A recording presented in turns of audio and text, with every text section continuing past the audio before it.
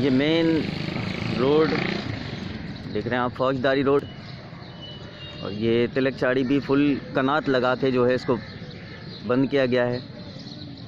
ये अलरहीम वाला रोड है, इसको भी कनात लगा के बंद कर दिया गया है। देख सकते हैं आप। ये रोड सदर को जाता है, ये भी कनात लगा के बंद कर दिया गया। है